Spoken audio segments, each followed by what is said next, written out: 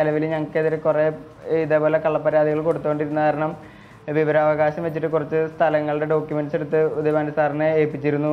ഇത് income tax ഓഫീസിൽ case file ചെയ്യാൻ വേണ്ടിയിട്ട്. അപ്പം നിലവിൽ എന്റെ ഒരു വിശ്വാസപ്രകാരം എനിക്ക് തോന്നുന്നു അത് അവർ തമ്മിൽ ആ ഒരു അച്ഛൻ പറഞ്ഞതും അങ്ങനെയാണ്. അവർ തമ്മിൽ ഈ സ്ഥലങ്ങളുടെ ഡീലിങ് വന്ന് ഇത്രയും ഏറെ കാശുള്ള ആളാണ് ജോണി എന്ന് പറഞ്ഞു കഴിഞ്ഞപ്പോൾ അവർ തമ്മിൽ ഒരു സെറ്റിൽമെന്റ് വരികയും തുടർന്ന് അച്ഛനെ വകവരുത്താനായിട്ട് രണ്ടുപേരും കൂടി ചെയ്തതാണ്. ആൾ ഉദയഭാനു സാർ ഈ അഗ്രിമെന്റ് ചെയ്ത സ്ഥലത്തിനൊക്കെ അച്ഛന്റെ അടുത്ത് ആധാരം ചെയ്യാൻ പൈസ ഉണ്ടോ എന്ന് ചോദിച്ച കാര്യം എനിക്കറിയാം. അപ്പൊ അച്ഛൻ നിലവിൽ സാമ്പത്തികമായിട്ട് എത്ര ഇതില്ലാത്ത കാരണം അച്ഛൻ പറഞ്ഞ നിലവിൽ പൈസ കാര്യങ്ങൾ അത്യാവശ്യം ടൈറ്റാണ് ആണ്. അപ്പൊ ഇല്ല എന്നുള്ള രീതിയിലാണ് പറഞ്ഞിരുന്നത് തുടർന്നാണ് എന്റെ അറിവ് പ്രകാരം ഉദയഭാനു സാറിൽ നിന്ന് ഇങ്ങനെ ഭീഷണിയും കാര്യങ്ങളും ഉണ്ടായത്. ഇതിനെതിരെ കോടതിയിൽ ഞങ്ങൾ പണം പണം കൊടുക്കാനുണ്ടായിരുന്നു. ഏതെങ്കിലും ഒരു ഭൂമി വാങ്ങി തരാം എന്ന് പറഞ്ഞിട്ട് ആ വാങ്ങി ആ ഭൂമി വാങ്ങിക്കൊടുക്കാൻ പറ്റാതിരുന്ന സാഹചര്യം. അതിനുശേഷം ആ പണം തിരിച്ചു കൊടുക്കാൻ പറ്റാത്ത സാഹചര്യം അതുണ്ടായിരുന്നു ഇല്ല നിലവിൽ നിലവിൽ അങ്ങനെ ഇപ്പൊ ഇപ്പൊ പുതിയതായിട്ട് അത് കേൾക്കണ അച്ഛനെ കുറിച്ച് ഇങ്ങനെ അതാണ്- അതാണ് പരാതി. അതാണ് അദ്ദേഹത്തിന്റെ പരാതി. നിലവിൽ ഉദയഭാനു സാറിന് ആ അദ്ദേഹത്തിന്റെ പരാതി തീർച്ചയായും തെറ്റാണ് എന്താന്ന് വെച്ചിട്ടുണ്ടെങ്കിൽ അച്ഛൻ ഓരോ എഗ്രിമെന്റും എന്റെ അറിവ് പ്രകാരം അവർ തന്നെ പൈസ കറക്റ്റായിട്ട് തിട്ടപ്പെടുത്തി ഇവിടെ കൊണ്ട് കൊടുക്കുകയും ഈ എന്റെ കയ്യിലിരിക്കുന്ന ഈ അഗ്രിമെന്റിൽ വാങ്ങിയ ആളും പൈസ കൊടുത്ത ആളും വായിച്ചു നോക്കാണ്ട് ഒരു എഗ്രിമെന്റ് ഒപ്പിടുന്ന എൻ- എന്റെ അറിവ് വെച്ച് തോന്നുന്നില്ല. അവർ കറക്റ്റായിട്ട് കൊടുത്ത പൈസ വായിച്ചു നോക്കിയിട്ട് ഇപ്പോൾ കൂടുതൽ എമൗണ്ട് കൊടുത്തിട്ടുണ്ടെങ്കിൽ അച്ഛനെ ചോദ്യം ചെയ്യാവുന്ന കാര്യമുള്ളൂ. എന്തുകൊണ്ട് ഇത്രയും പൈസക്ക് ചെയ്തില്ല എന്ന് ചോദിക്കാം. അവർ അതേ ഡേറ്റിന് ഒപ്പിടുകയും രണ്ട് കൂട്ടർ ഒപ്പിടുകയും ഇതൊക്കെ ചെയ്തിട്ടുണ്ട്. അപ്പോൾ പിന്നെ നിലവിൽ അങ്ങനൊരു അത് തീർച്ചയായും അച്ഛനെ പറ്റി ഇല്ലാത്ത കാര്യമാണ് ആൾ പറയുന്നത് ഇപ്പൊ എസ് പി സാറിന്റെ മനസ്സിലാക്കാൻ പറ്റാത്ത ഒരു കാര്യം. മലയാളം കൃത്യമായി വായിക്കാൻ അറിയില്ല. മലയാളം കൃത്യമായി വായിക്കാൻ അറിയില്ല. കൃത്യമായി ഈ രേഖകൾ ഇങ്ങനെയുള്ള കാര്യങ്ങളാണ് ഇദ്ദേഹം ഡീൽ ചെയ്യുന്നത് താങ്കളുടെ പിതാവ്. അപ്പോൾ വളരെ സൂക്ഷിച്ച് ചെയ്യേണ്ട കാര്യങ്ങളാണ്. കാര്യങ്ങൾ ഈ എഗ്രിമെന്റുകളിലും രേഖകളിലും ഒക്കെ ഒപ്പുവെക്കുക എന്നുള്ളത്.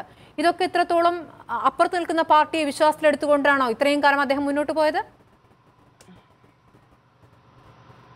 അച്ഛന്റെ ഒപ്പ് സംബന്ധമായിട്ട് അച്ഛൻ അങ്കമാലി സ്റ്റേഷനിൽ രഞ്ജിത്ത് പയനാട് എന്ന് പറഞ്ഞ ഒരാൾ അച്ഛന്റെ കള്ളോപ്പ് ഇട്ടിട്ട് സ്റ്റേഷനിൽ ഒരു അമേരിക്ക കൊണ്ടുപോകാമെന്ന് പറഞ്ഞിട്ട് ഒരു വിസ തട്ടിപ്പിന്റെ കേസ് ഫസ്റ്റ് ആയിട്ട് ജോണിച്ചേട്ടൻ കൊടുത്തിരുന്നു. അപ്പോൾ ആ കേസിൽ എന്താ ഉണ്ടായെന്ന് വെച്ചാൽ ഒരു ബ്ലാങ്ക് പേപ്പറിൽ ഒരു ഒരു പോസ്റ്റ് ഇതിനകത്ത് കൂടി ചേർന്ന് അച്ഛന്റെ ഒരു ഒപ്പ് ഇടിച്ചിരുന്നു അവരിട്ടിരുന്നു അത് നിലവിൽ കള്ളൊപ്പാണെന്നും പറഞ്ഞിട്ട് അച്ഛൻ കുറേ ഒപ്പുകളും കാര്യങ്ങളും ഇട്ട് ഇത് കൊടുത്തിരുന്നു. ഉദയഭാനു സാറ് ഞങ്ങളുടെ ആദ്യത്തെ അഡ്വക്കേറ്റ് ആയതുകൊണ്ട് തന്നെ ആൾക്ക് ഇപ്പം നിലവിൽ അച്ഛന്റെ ഒപ്പുകളും കാര്യങ്ങളും അച്ഛൻ പോവാത്ത സമയത്തൊക്കെ ആൾ തന്നെയാണ് ഒപ്പിട്ട് അല്ലെങ്കിൽ ആളുടെ കെയറഫിനിൽ ആരെങ്കിലും ഒപ്പിട്ടിട്ടാണ് അച്ഛന്റെ കേസുകളും കാര്യങ്ങളൊക്കെ ഫയൽ ചെയ്തുകൊണ്ട് വരിയിരുന്നത് അപ്പോൾ ആൾക്ക് നിസ്സാരമായിട്ട് ഇത്രയും വലിയൊരു ആൾക്ക് ഞങ്ങൾക്ക് അച്ഛന്റെ പേരിൽ ഒരു ഒപ്പിട്ട് ഇന്ന എഗ്രിമെന്റ് ചെയ്തു എന്ന് പറയുന്നത് അത് തീർച്ചയായിട്ടും പുള്ളികളെ കൊണ്ട് സാധിക്കുന്ന ഒരു കാര്യമാണെന്നാണ് ഞാൻ വിശ്വസിക്കുന്നത്. ശ്രീ സി ആർ നീലകണ്ഠൻ ഇതിപ്പോൾ ഒരു ഭൂമി തർക്കം റിയൽ എസ്റ്റേറ്റ് ബിസിനസ് ഏറ്റവും ഒടുവിൽ അതൊരു കൊലപാതകത്തിൽ കലാശിച്ചിരിക്കുന്നു. അതിൽ ഏറ്റവും പ്രധാനമെന്നുള്ളത് ഈ മരിച്ച വ്യക്തി പല പല തവണയായി പോലീസിലും കോടതിയിലും തന്റെ ജീവന ഭീഷണിയുണ്ട് എന്നുള്ള പരാതി നൽകുകയും ആ പരാതിയിൽ ഒരു നടപടി ഉണ്ടാകാതിരിക്കുകയും ചെയ്യുന്ന ഘട്ടത്തിലാണ് അദ്ദേഹം കൊല്ലപ്പെടുന്നതെന്നുള്ളതാണ്. മാത്രമല്ല സംസ്ഥാനത്തെ ഏറ്റവും പ്രമുഖനായ ഒരു അഭിഭാഷകന്റെ പേരും ഈ ആരോപണത്തോട് ചേർത്ത് ഉന്നയിക്കപ്പെടുകയാണ്. അല്ല ഇവിടെ രണ്ട് മൂന്ന് കാര്യങ്ങൾ എനിക്ക് തോന്നുന്നു വളരെ വ്യക്തമായി വരേണ്ടതുണ്ട്. ഒന്ന് നമ്മുടെ നാട്ടിലെ ഭൂമി കച്ചവടം. വലിയ തോതിൽ മാഫിയാവൽക്കരിക്കപ്പെട്ടിരിക്കുന്നു എന്നുള്ളത് ഒരു സത്യമാണ്.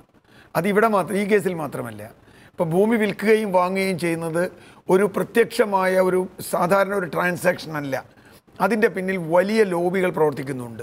അതിന്റെ പിന്നിൽ വലിയ പണം ഒഴുകുന്നുണ്ട്. ആ പണം ഈ സംസ്ഥാനത്തെ പ്രമുഖന്മാരുടെ പണവുമായി ബന്ധപ്പെട്ടാണ് എന്നതും സത്യമാണ്.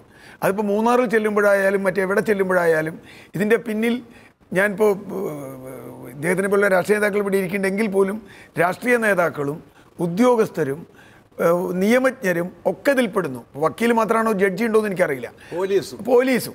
ഈ ഉദ്യോഗസ്ഥരെല്ലാം ചേർന്ന മാഫിയയാണ് ഭൂമി കൈകാര്യം ചെയ്യുന്നത്. അങ്ങനെ വരുമ്പോൾ അതിലുള്ള ഓരോ ഇടപാടുകളും വളരെ വളരെ വളരെ സങ്കീർണമാവും. അതൊന്ന്. രണ്ടാമത്തെ കാര്യം അതുകൊണ്ട് തന്നെ ഇതിലൊന്നും കൃത്യമായ ഇപ്പോൾ ഒരാൾ ഒരു ഭൂമി കച്ചവടക്കാരനാണ് ഒരാൾ എന്ന് പറഞ്ഞാൽ റിയൽ എസ്റ്റേറ്റ് ഏജന്റ് ആണെന്ന് പറഞ്ഞാൽ അയാൾ കുറച്ചൊരു കുഴപ്പമൊക്കെ ചെയ്യുന്നതിൽ വലിയ കുഴപ്പമില്ല എന്ന് പൊതുസമൂഹവും കാണുന്നു. അയാൾ എന്തെങ്കിലും അയാൾ തെറ്റിച്ചിട്ടുണ്ടാവും.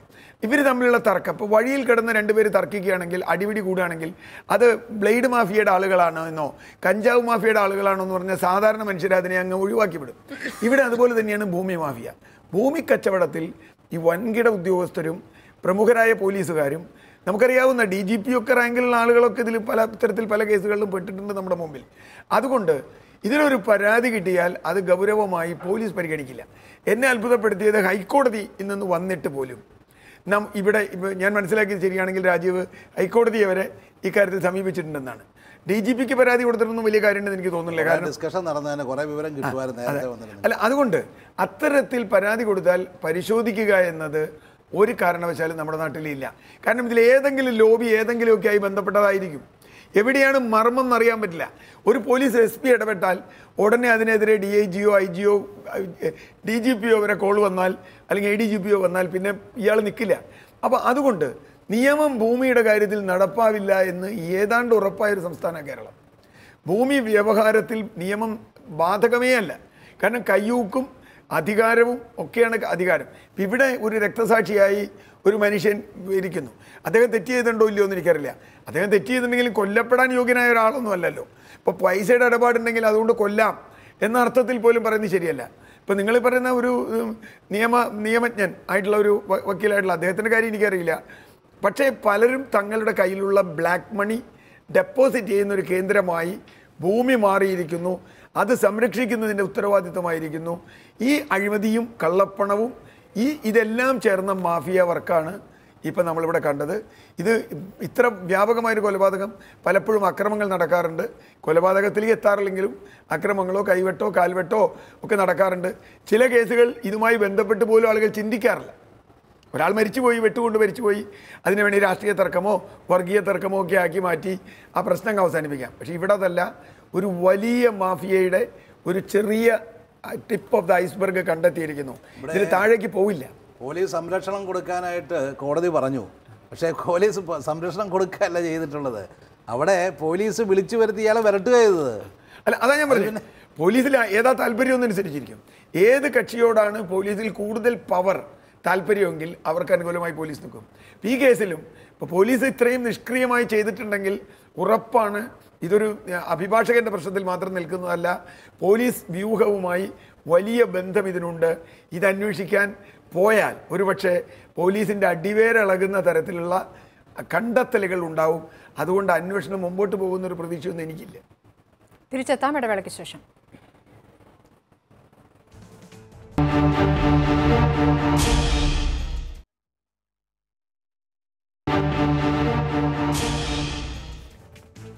തിരിച്ചെത്താം ചർച്ചയിലേക്ക് ശ്രീ ശിവൻ മഠത്തിൽ ഇപ്പോൾ ശ്രീ ഉദയഭാനു നമ്മോട് ടെലിഫോണിൽ സംസാരിച്ചപ്പോൾ പറഞ്ഞത് ഈ അൻപത് ലക്ഷത്തിന്റെ കാര്യം മാത്രമാണ്. പക്ഷേ പുറത്തേക്ക് വരുന്ന പല കാര്യങ്ങളും അനുസരിച്ചാണെങ്കിൽ ഒന്നര കോടിയുടെ ഒരു ഡീൽ ഉദയഭാനു കൊടുത്തിട്ടുണ്ട് ഈ മരിച്ച രാജീവിന്. നെടുമ്പാശ്ശേരിയിലും പാലക്കാട്ടും സ്ഥലം വാങ്ങിക്കാനായി അഡ്വാൻസ് കൊടുത്തിരിക്കുന്നു. ഈ സ്ഥലം വാങ്ങാൻ കഴിഞ്ഞിട്ടില്ല. ഉദയഭാനുവിന്റെ വീഴ്ചയാണ് എന്നാണ് മരിച്ചയാൾ പോലീസ് നൽകിയ പരാതിയിൽ പറയുന്നിരിക്കുന്നത്. പണം നൽകിയിട്ടില്ല എന്ന ഉദയഭാനുവിന്റെ പരാതിയുമുണ്ട്. ഒരു ഡോക്യുമെന്റ് ഉണ്ടാക്കുന്ന ശ്രമത്തിനിടയിലാണ് ഈ മരണം സംഭവിച്ചിരിക്കുന്നത്. സാധാരണഗതിയിൽ ഒരു ഭൂമി വിഷയത്തിൽ ഒരു എഗ്രിമെന്റ് അതിപ്പോൾ ആ മുഴുവൻ തുക അല്ലെങ്കിൽ ഭൂമിയുടെ മുഴുവൻ കാര്യങ്ങൾ നടക്കുന്നതിന് മുമ്പ് തന്നെ ഇപ്പോൾ അതിൽ കൃത്യമായ നിയമങ്ങളുണ്ടല്ലോ. ഇപ്പോൾ അഡ്വാൻസ് ആയി നൽകുന്ന പണത്തിനും കൃത്യമായ എഗ്രിമെന്റ് വേണ്ടതുണ്ട്. അങ്ങനെ ഒരു എഗ്രിമെന്റ് ഈ വിഷയത്തിൽ ഈ ഭൂമി ഇടപാടുകളിൽ നടന്നിട്ടില്ലെങ്കിൽ കൃത്യമായും നിയമവിരുദ്ധമായ നടപടി ഈ അഭിഭാഷകന്റെ ഭാഗത്തുനിന്നുണ്ടായി എന്നല്ലേ മനസ്സിലാക്കേണ്ടത്? ഇതിൽ പ്രധാനമായിട്ട് നമുക്ക് മനസ്സിലാക്കാവുന്ന ഒരു കാര്യം ഈ പറഞ്ഞ അഭിഭാഷകനും ഈ പറഞ്ഞ മരിച്ച രാജീവുമായിട്ട് റിയൽ എസ്റ്റേറ്റുമായി ബന്ധപ്പെട്ടുകൊണ്ടുള്ള അഡ്വാൻസ് കൊടുക്കുന്നതും തുക ഫിക്സ് ചെയ്യുന്നതും ആ കൊടുത്ത തുക യഥാർത്ഥ കക്ഷിക്ക് കൊടുക്കാതിരിക്കുന്നതുമൊക്കെ ഈ റിയൽ എസ്റ്റേറ്റിലെ ശ്രീ നീലകണ്ഠ പറഞ്ഞതുപോലെ റിയൽ എസ്റ്റേറ്റുമായി ബന്ധപ്പെട്ട് പ്രവർത്തിക്കുന്ന ഒരു ഒരു മേഖലയിൽ ഇത്തരം കാര്യങ്ങളൊക്കെ സമയം അഡ്വാൻസ് കൊടുത്തിട്ട് സ്ഥലം എഴുതുന്നു. കുറച്ച് നാൾ കഴിയുമ്പോൾ ആ സ്ഥലം കൂടുതൽ വിലയ്ക്ക് മറ്റൊരാളിന് വിൽക്കുന്നു. ആദ്യം കരാർ വെച്ച വ്യക്തിയെ മാറ്റിയിട്ട് കൂടുതൽ തുക കിട്ടിയ ആളിന് കൊടുക്കുന്നു. ഇവർ തമ്മിൽ തർക്കത്തിൽ വരുന്നു. അങ്ങനെ ധാരാളം കേസുകളും കാര്യങ്ങളൊക്കെ ഇവിടെ ഉണ്ടാകാറുണ്ട്. പക്ഷേ ഞാൻ പറഞ്ഞു വരുന്നത് ഒരു പക്ഷേ ഈ അഡ്വക്കേറ്റ് സി പി ഉദയഭാനുവും ഈ മരണപ്പെട്ട വ്യക്തിയും തമ്മിൽ ഭൂമി ഇടപാടുമായി ബന്ധപ്പെട്ടുകൊണ്ട് ഇത്തരം തർക്കങ്ങൾ നിലനിൽക്കുമ്പോൾ ശ്രീ രാജീവിന്റെ വ്യക്തിപരമായി ദേഷ്യമുള്ള പ്രതികാരമുള്ള അല്ലെങ്കിൽ ഇതുപോലെ തന്നെ അദ്ദേഹത്തിന്റെ ഭൂമി ഇടപാടുമായി ബന്ധപ്പെട്ട അദ്ദേഹത്തിനെതിരെ നിൽക്കുന്ന വ്യക്തികൾ ഈ കാര്യം ഉപയോഗപ്പെടുത്തി ഇദ്ദേഹത്തിനെ പിന്നെ കൊലപ്പെടുത്തിയതാണോ എന്ന ഒരു കാര്യവും നമ്മളോട് ചേർത്ത് വായിക്കണം. എന്തായാലും ഒരു കാര്യം ഉറപ്പാണ്.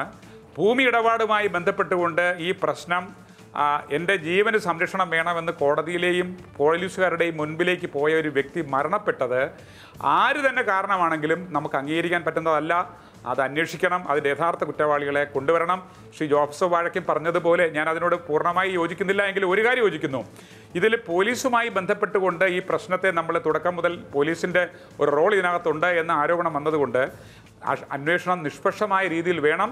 അത് ശ്രീ- ദിലീപിന്റെ കാര്യത്തിൽ കേരളത്തിലെ ജനങ്ങൾക്ക് സ്മൃതി ചോദിച്ചത് വളരെ പ്രസക്തമാണ്.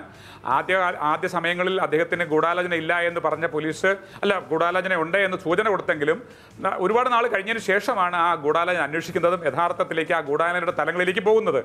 അപ്പോൾ അതുപോലെ കേരളത്തിലെ പോലീസിനെ സംബന്ധിച്ചിടത്തോളം ഞാൻ പൂർണമായി അവരെ അടച്ചാക്ഷേപിക്കാൻ ഞാൻ ഈ അവസരം ഉപയോഗിക്കുന്നില്ല. പ്രത്യേകിച്ച് കേരളത്തിലെ പോലീസിനെ സംബന്ധിച്ചിടത്തോളം ഇന്ത്യയിലെ മറ്റ് പോലീസുകാരുമായി താരതമ്യം ചെയ്യുമ്പോൾ വളരെ സുദീർഘമായ സേവനം ചെയ്തവരാണ്. പക്ഷേ ഈ സർക്കാരിന്റെ കാലത്ത് പല കേസുകളിലും അത്തരത്തിലുള്ള ഇടപെടലുകൾ പോലീസിന്റെ ഭാഗത്തുനിന്നുണ്ടായിട്ടുണ്ട്. അത് പോലീസ് സ്വന്തം നിലയ്ക്ക് എടുത്തതാണോ? സർക്കാരിന്റെ കൃത്യമായ നിലപാട് ഈ വിഷയത്തിൽ വന്നതാണോ എന്ന കാര്യവും ചർച്ച ചെയ്യേണ്ടത് തന്നെയാണ്. ഇപ്പോൾ Shri P C George M L എയും ടെലിഫോൺ ലൈനിലുണ്ട്. ശ്രീ പി സി ജോർജ് ഈ കൊലപാതകം റിയൽ എസ്റ്റേറ്റ് ഇടപാടുമായി ബന്ധപ്പെട്ട് നടക്കുന്ന കൊലപാതകം അതിൽ ഒരു പ്രമുഖ അഭിഭാഷകന്റെ പേര് കൂടി വലിച്ചിഴക്കപ്പെടുന്നു എന്നുള്ള വിവരം. ഇതിൽ പോലീസ് കൃത്യമായും ആ പേരെടുത്തു പറയുന്നില്ല. പക്ഷേ മാധ്യമങ്ങൾ ചോദിക്കുമ്പോൾ ആ നിലയ്ക്കും അന്വേഷണമുണ്ട് എന്ന് വ്യക്തമാക്കുകയാണ് ചെയ്തിരിക്കുന്നത്. താങ്കൾ എങ്ങനെയാണ് ഈ കേസിനെ കാണുന്നത്? ഞാനും കൂടി പച്ചയ്ക്ക് അഡ്വക്കേറ്റ് ഉദയഭാനു ഗവൺമെന്റ് പ്രോസിക്യൂട്ടറായിട്ട് ഇരുന്ന് കച്ചവടം ചെയ്യുന്ന ആ അഡ്വക്കേറ്റ് ഉദയഭാനു അയാളുടെ അയാൾ കൂടാതെ നടത്തിയാണ് ആ പാവരാജിനെ കൊന്നിരിക്കുന്നത്. എന്താ സംശയം? ഞാൻ പേര് പറഞ്ഞാൽ കേസ് കൊടുക്കട്ടെ? ഞാൻ നേരിടാൻ തയ്യാറാ. ഇത് വെറുതെ ഇടപാടാണോ? അയാളെ അങ്ങനെ വെറുതെ ഇടാനൊന്നും ഗവൺമെന്റ് നോക്കിയാൽ സമ്മതിക്കില്ല. അതായത് ഈ രാജ്യ ഹൈക്കോടതി കൊടുത്ത മൂന്ന് റിട്ട് പെറ്റീഷൻ ഉണ്ട്. ആ രാജ്യ രാജുവിന്റെ മകനും കൊടുത്ത കൊടുത്ത പെറ്റീഷൻ ഉണ്ട് പോലീസ് പ്രൊട്ടക്ഷൻ ആവശ്യപ്പെടുത്തുകൊണ്ട് കൊടുത്ത പെറ്റീഷൻ ഉണ്ട് രാജു ഈ- രാജുവിനെ ഈ വക്കീലിന് വക്കീൽ എന്താ സംഭവം എന്ന് വെച്ചാൽ വക്കീലിന്റെ ആളാണ്. രാജു കുറെ നാളായിട്ട്. അപ്പൊ കേസ് തോറ്റു കൊടുത്ത് കാശുണ്ടാക്കുന്നതിന്റെ കണക്ക് പോലെ രാജുവിന്റെ ഇരിക്കുകയാണ് അപ്പൊ രാജു വളരെ നല്ല ഇടപാട്. ഇവരെ വിശ്വസിച്ച് വക്കീൽ അതിന്റെ പേര് കാശല്ല അവന്റെ പേരിലാക്കി. സമയാകുമ്പോ രാജു കൊടുക്കൂല. കൊടുക്കാതെ വന്നപ്പോ വക്കീൽ മനുഷ്യൻ വന്നു. വക്കീൽ നമ്മുടെ ആലുവ റൂറൽ എസ് പി ഇടപെടുത്തുകയാണല്ലോ നിഷേധിക്കട്ടെ റൂറൽ എസ് പി. അങ്ങനെ രാജുവിനെ വിളിച്ച് വളരെ സ്ട്രോങ് ആയിട്ട് പറഞ്ഞല്ലോ. വളരെ സ്ട്രോങ് ആയിട്ട് കാശ് വെക്കാൻ പറഞ്ഞതല്ലേ? നീ മര്യാദയ്ക്ക് പ്രശ്നം തീർക്കണം അല്ലെങ്കിൽ കുഴപ്പമാണെന്ന് നമ്മളോട് പറഞ്ഞതാണ്. ആളെ തീർത്തില്ല അപ്പൊ അപ്പോ ഹൈക്കോടതിയിലെ വെറ്റിന്റെ അടിസ്ഥാനത്തിൽ ആലുവ പോലെ ആലുവ റൂറൽ എസ് പിയുടെ കീഴിൽ ഒരു കൊലപാതകം നടന്ന ഉത്തരവാദിത്വം എസ് പിക്കാണെന്ന് ഹൈക്കോടതി പറഞ്ഞു പ്രൊട്ടക്ഷൻ കൊടുക്കാൻ പറഞ്ഞു. അപ്പോ ഇവരെ കൊണ്ടുവിട്ടാന്നറിയാമോ ചാലക്കുടി. എന്താ കാര്യം? റൂറൽ എസ് പി പ്രതിയായ അവർ രക്ഷപ്പെട്ടു. റൂറൽ എസ് പി ഞാനുമായിട്ട് വളരെ അടുപ്പമുള്ളവനാ. അങ്ങനെ നോക്കി നിൽക്കാൻ അറിയാം. അതാണ് അല്ലെങ്കിൽ വക്കീൽ പറഞ്ഞു വെച്ച് കിടന്ന് തുള്ളിയിരുന്നെങ്കിൽ അങ്ങനെ ഇപ്പൊ ജയിലിൽ പോകേണ്ടി വന്നേനെ. ഏതായാലും ഉദയവാനും ഇതിൽ പ്രതിയാണ് എന്നതിൽ ഒരു സംശയം വേണ്ട. ശ്രീ പി സി ജോർജ് താങ്കൾ ഈ പറയുന്ന ജീവന് ഭീഷണിയുണ്ടെന്നുള്ള പരാതി പോലീസിൽ ഈ മരിച്ച വ്യക്തി നൽകിയിട്ടുണ്ട്. അതേപോലെ തന്നെ തിരിച്ച് സി പി ഉദയഭാനുവും പരാതി നൽകിയിട്ടുണ്ട്. തന്റെ പണം തട്ടിച്ചു എന്ന്. ആ അതിന്റെ കാര്യം അപ്പൊ ക്ലിയർ ആയില്ലേ? ഉദയവാനം തന്നെയാണ് കൊണ്ടുവന്ന് ഇപ്പൊ തെളിഞ്ഞോ? ഏതാ സംശയം? അല്ല ഉദയഭാനു നേരത്തെ തന്നെ കൊടുത്ത പരാതിയാണ്. അതിന് പിന്നാലെയാണ് അതിന് പിന്നാലെയാണ് മരിച്ച രാജീവ് പരാതി നൽകിയതെന്നാണ് അദ്ദേഹത്തിന്റെ ഭാഷ്യം. കേട്ടോളൂ. വളരെ പ്രധാനപ്പെട്ട കാര്യം പറയാം. ഈ രാജു അവിടെ മരിച്ചു കിടക്കുന്നെന്ന് പോലീസെ വിളിച്ചു പറഞ്ഞത് ആരാന്നറിയാമോ അത് അറിയപ്പെടുന്ന ഒരു കൊട്ടേഷൻകാരനാണ് കൊലപാതകത്തിൽ പോലീസ് അറസ്റ്റ് ചെയ്ത മൂന്നിനൊന്ന് ഈ കൊട്ടേഷൻകാരൻ ഈ വിളിച്ചു പറഞ്ഞ ആളുടെ തങ്ങളുടെ മകന മനസ്സിലായോ? അവരും കൊട്ടേഷനാ. കൊട്ടേഷൻകാരൻ തന്നെ വിളിച്ചു പറയുക കൊട്ടേഷൻകാരന്റെ മരുമകനെ അറസ്റ്റ് ചെയ്യുക. ഇതെല്ലാം അറിഞ്ഞുകൊണ്ടാണ് ഒരു തർക്കം വേണ്ടി ഇവരെല്ലാം ബന്ധമുണ്ട്. അതൊക്കെ വായന അറസ്റ്റ് ചെയ്യാൻ ഒരു മാതിയും ഒരു മര്യാദയും വേണ്ട. ഇപ്പോൾ. നാലു പേർ പിടിയിലായിട്ടുണ്ട്. ഇനിയും രണ്ടു പേരുണ്ട്. ഈ പറയുന്ന ചക്കര ജോണി എന്ന് പറയുന്ന വ്യക്തി പിന്നെ ഒരു രഞ്ജിത്ത്. അവരാണ് ഗൂഢാലോചനയ്ക്ക് പിന്നിലെന്നാണ് ഇന്നിപ്പോൾ യതീഷ് ചന്ദ്ര വാർത്താ സമ്മേളനത്തിൽ പറഞ്ഞിരിക്കുന്നത്. സി പി ഉദയഭാൻ ഒരു പേര് പറഞ്ഞിട്ടില്ല. പക്ഷേ മാധ്യമങ്ങൾ ചോദിക്കുമ്പോൾ അതും അന്വേഷണത്തിലാണെന്ന് അദ്ദേഹം പറയുന്നുണ്ട്. അപ്പൊ പോലീസ് ശരിയായ രീതിക്ക് തന്നെയാണോ മുന്നോട്ട് പോകുന്നത്? പോലീസ് എനിക്ക് കേരള പോലീസ് ഇപ്പൊ സംശയമുണ്ട്. എന്താണെന്നറിയാമോ? നമ്മുടെ സിനിമാ നടന്ന കേസിൽ എനിക്ക് സംശയമുണ്ട്. ഇപ്പൊ സൗകര്യം പോലൊക്കെയല്ലേ പോലീസ്? ആലുവ കേന്ദ്രീകരിച്ചുകൊണ്ട് ഇപ്പൊ നടത്തുന്ന പോലീസ് കേസുകൾ എല്ലാത്തിനും എനിക്ക് സംശയമാണ് ഇത് അദ്ദേഹത്തിന്റെ ഉദയപാനി ഇതിൽ പ്രതിയായില്ലെങ്കിൽ വളരെ വലിയ മോശം. പോലീസിനെതിരെ കോടതിയിൽ പോകാൻ രാജ്യത്തെ ബന്ധുക്കളോടൊപ്പം ഞാൻ സഹായത്തിനെത്തും. രാജ്യം കാണിച്ച മര്യാദ ഉദയഭാഗന്റെ കാശ് മുഴുവൻ തട്ടിക്കൊണ്ട് പോകാൻ നോക്കിയ ശ്രമം തെറ്റാണ് അയാൾ കാണിച്ചത്. ഞാൻ സമ്മതിച്ചു. പക്ഷേ അയാളെ കൊല്ലാൻ എന്താ അവകാശം? അപ്പൊ കൊല്ലാൻ കൂടാതെ നടത്തിയ ഉദയഭാഗം ഉണ്ടെന്ന് ഞാൻ നൂറ് ശതമാനം വിശ്വസിക്കുകയാണ്. താങ്കൾ ഈ പറയുന്നത് ഇത് രാജീവ് എന്ന മരിച്ച വ്യക്തി നൽകിയ പരാതിയുടെ അടിസ്ഥാനത്തിൽ മാത്രമാണോ താങ്കളുടെ ഈ നൂറ് ശതമാനത്തിലുള്ള വിശ്വാസം? അല്ല ഞാൻ ഇന്ന് രാവിലെ നിങ്ങളെ വിളിച്ചല്ലോ. എനിക്ക് സമയമില്ലെന്ന് പറഞ്ഞാണ് അപ്പൊ നിങ്ങൾ വിളിച്ചല്ലോ നിങ്ങളുടെ വന്ന് ഡീറ്റെയിൽസ് അവിടെ അന്വേഷിച്ചപ്പോ ഇതിലും കൂടുതൽ എത്തി പറയാൻ വാക്കേണ്ട ഞാൻ പത്രസമ്മേളനം നടത്താനിരിക്കുകയാണ് ബാക്കി കാര്യങ്ങൾ പത്രസമ്മേളനത്തിൽ പറയാൻ തിങ്കളാഴ്ച തന്നെ നടത്താൻ ഉദ്ദേശിക്കുന്നത്. നോക്കട്ടെ. താങ്കളുടെ കയ്യിൽ മറ്റു തെളിവുകൾ ഉണ്ടെന്നാണ് താങ്കൾ പറയുന്നത്. ഏതായാലും ചുമ്മാ വന്ന് ഞാൻ പറഞ്ഞു ഞാൻ പറഞ്ഞിട്ട് ഇന്ന് വരെ നിഷേധിച്ചിട്ടുണ്ടോ ആരെങ്കിലും? ഞാൻ പറയുന്നത് അദ്ദേഹം ഉദയഭാനുവിന് ഒരു പങ്കാളിത്തമുണ്ട്. അഡ്വക്കേറ്റ് സി പി ഉദയഭാനുവും ഈ വിഷയത്തിൽ പ്രതികരിക്കും. ശ്രീ പി സി ജോർജ് അത് നാളെ. ഉണ്ടാകുമെന്ന് പ്രതീക്ഷിക്കാം. നാളെയാണോ? ഇപ്പഴാ പ്രതികരിക്കാൻ പറ. ആ പാവപ്പെട്ട തല്ലിക്കൊല്ലിച്ചത് പ്രതികരിച്ചത് കാര്യം. ഗുണ്ടയൊക്കെ ആളെ കൊടുത്ത് കൊട്ടയൊക്കെ കൊടുത്ത് കൊല്ലുക. എന്നിട്ട് പ്രതികരിക്കുക ഇപ്പൊ എന്റെ ഒരു ഡിമാൻഡ് എന്താണെന്നറിയോ? ഉദയവാനു പ്രോസിക്യൂഷനായിട്ട് ഹാജരായി വെറുതെ പോയ കേസുകൾ മുഴുവൻ പരിശോധിക്കണം. ഞാനിത് പറയുമ്പോ ഞാൻ ഞാനൊരു ചെറിയ ഉദാഹരണം പറയാം. കെ എസ് ആർ ടി സിയുടെ ഉപദേശകരായിരുന്ന വക്കീലുണ്ട്. ഏതായാലും ഏതായാലും ഈ കേസിന്റെ അന്വേഷണം പ്രത്യേക അന്വേഷണ സംഘത്തെ ഏൽപ്പിച്ചിരിക്കുന്നു. അത് കൃത്യമായി മുന്നോട്ട് പോകുന്നു എന്നുള്ള കാര്യം നമുക്ക് വരും ദിവസങ്ങളിൽ പരിശോധിക്കാവുന്നതാണ്. അതിന്മേൽ ചർച്ചയും നടത്താവുന്നതാണ്. അഡ്വക്കേറ്റ് സി പി ഉദയഭാനന്റെ പ്രതികരണം നാളെ മാധ്യമങ്ങൾക്ക് മുന്നിൽ ഉണ്ടാകുമെന്ന് തന്നെ പ്രതീക്ഷിക്കാം. ചർച്ചയിൽ പങ്കെടുത്ത എല്ലാവർക്കും നന്ദി.